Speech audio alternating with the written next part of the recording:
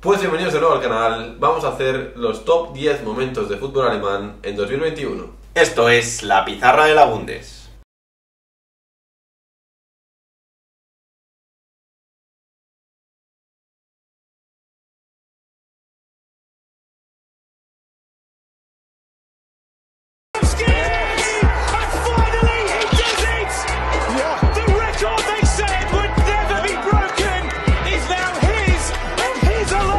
Pues bienvenidos de nuevo al canal. Acabamos este año 2021 eh, con los 10 mejores momentos de fútbol alemán en este año, un año que ha sido bastante importante ¿no? para, para los equipos alemanes, tanto en participación en Europa como en la propia Bundesliga, con despedidas y momentos muy importantes. Y vamos a repasar los que nos han parecido los 10 mejores, Uri. Así es, y si os parece chicos, empezamos al revés, del 10 hasta llegar al 1.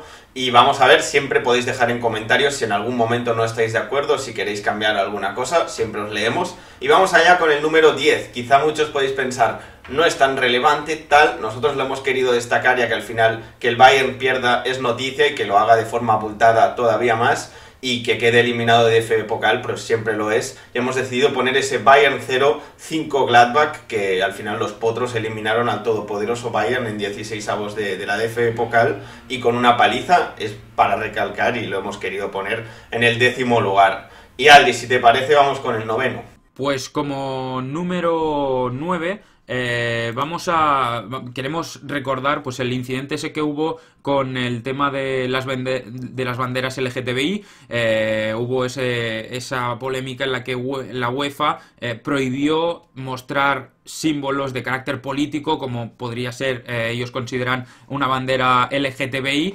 Entonces, pues como iban a jugar contra Hungría, Hungría había aprobado esa ley en cuanto a términos LGTBI y bueno, hubo polémica y pese a ello, pues sí que se iluminó con, esos colores el Allianz Arena, también se eh, Manuel Neuer lució el brazalete con esos colores, así que también es uno de esos apuntes que queda para este año 2021.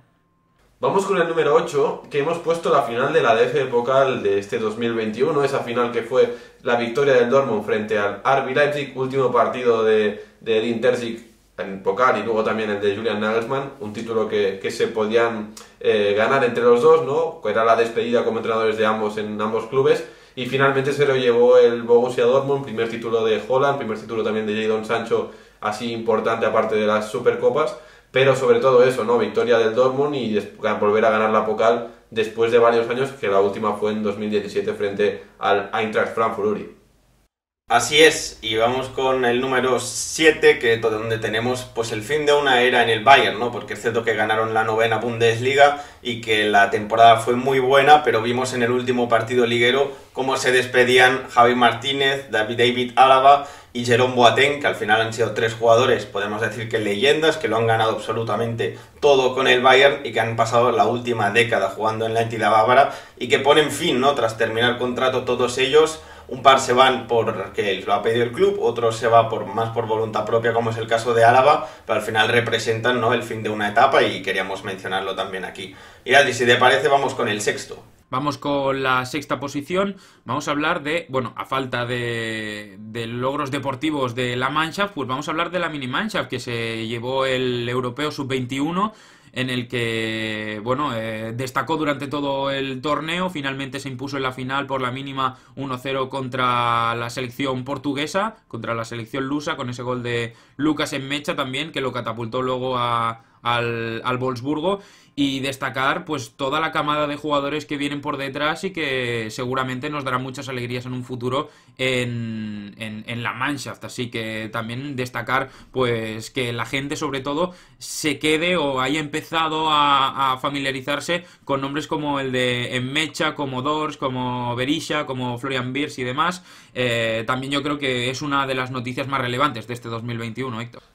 Totalmente, vamos también con el número 5 y hemos puesto sin duda ese gol de Max Kruse frente al RB Leipzig en el, último partido de la campaña pasada para clasificar al Unión Berlín en el Stadion an der Elten para la Conference League, para su primera clasificación a competición europea en su segundo año en la historia en Bundesliga, así que sin duda también ese gol de Max Kruse y lo que significó tenía que estar en nuestro top 10, en este caso top 5 de momentos del fútbol alemán. En el número 4, y acercándonos al podio, tenemos al Schalke, la mala temporada pasada del Schalke que terminó con su descenso, quedando último clasificado en Bundesliga y que además estuvo a punto a punto de superar el récord del Tasmania Berlín, ese récord de partidos sin ganar en Bundesliga y se quedó a las puertas justo el día que, que podía superarlo, terminó ganando el, el Schalke con la, digamos la aparición de Matthew Hopi y finalmente se salvó de tener esa lacra para toda la vida, pero lo cierto es que al final la temporada del Schalke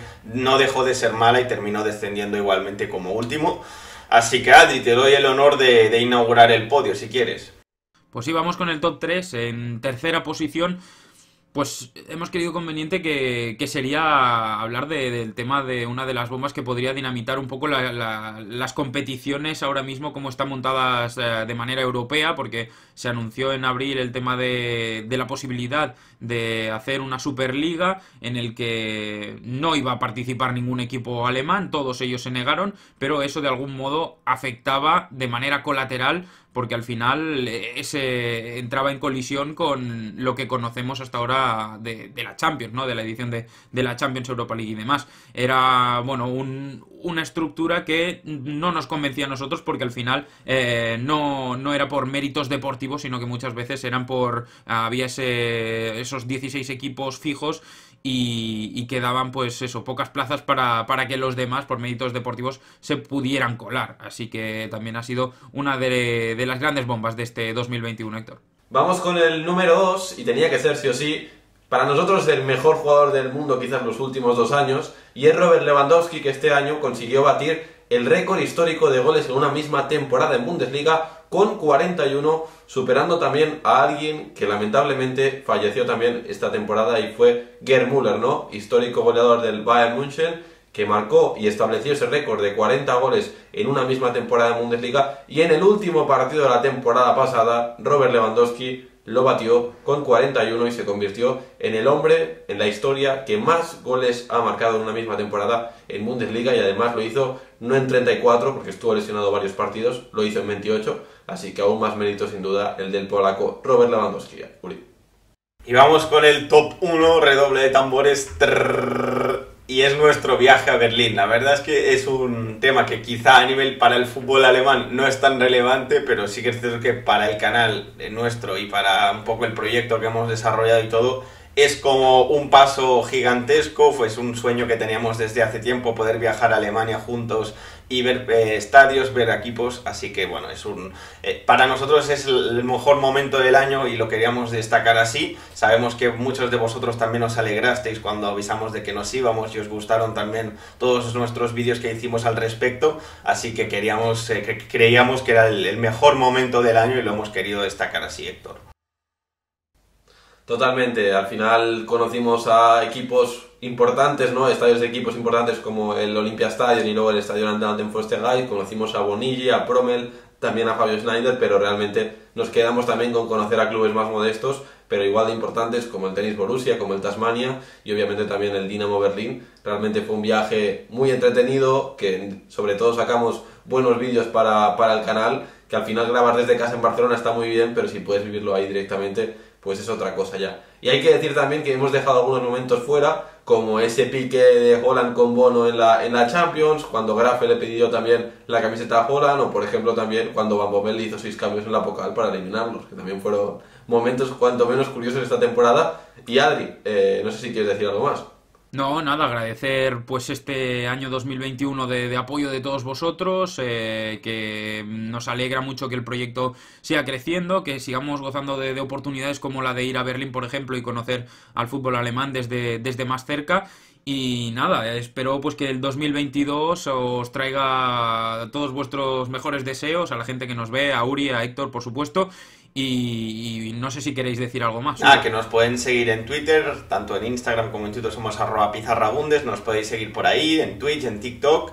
Y lo más importante es que nos vemos en el próximo vídeo y que tengáis un próspero 2022. Adiós.